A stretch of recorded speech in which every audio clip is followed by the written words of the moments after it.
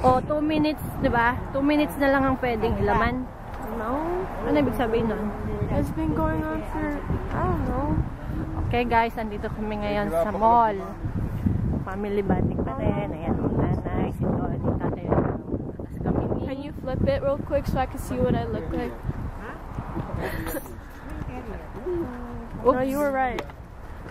You go up. I want to see what I look And like. kami ni Yeye. Pasensya na guys kasi yung ginagamit kong camera. O tabi. eh, So ugly. God. Iba sa aking bayan. Bago sa aking, ano, kaya, ano. Oh. Tuwan-tuwa tatay. Nagbibilog kami, oh. Hi! Hello! Hoy, panoorin nyo kami ha. So far, meron na kaming 9 subscribers.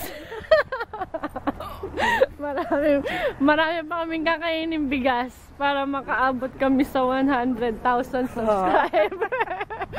para magkaroon kami ng ng ano ng dollar. Suportahan nyo ang aming vlog para sa susunod. Tay! Makauwi kami sa Pilipinas ng libre.